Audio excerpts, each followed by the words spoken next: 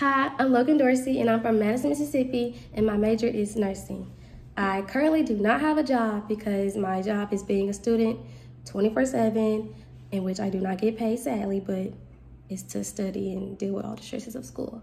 Um, after I graduate, I plan to actually take classes to become certified in hematology and oncology so that way I can care for patients who have cancer or leukemia or different blood disorders.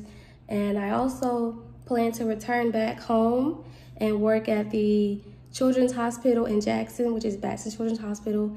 And I really want to work on the third floor, preferably with the hematology and oncology patients.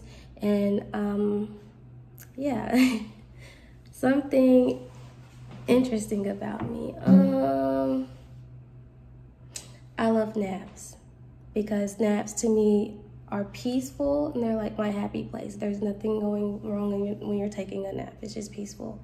And I also love food, any kind of food. I'm a foodie. And something I'm into lately, coloring. I love coloring. to me, it's very peaceful and helps me relax. I love, and not the adult coloring, coloring books like that, like the mandalas. They're cute, but I like the kid coloring books. I'm kind of like a big kid a little bit. Um, and one other interesting thing, interesting thing about myself, I hate milk with a passion. Like I, I cannot stand milk. Now I'll use it to cook, but like drinking it or eating cereal, I eat the cereal out of a, of a Ziploc bag with a spoon. okay, bye.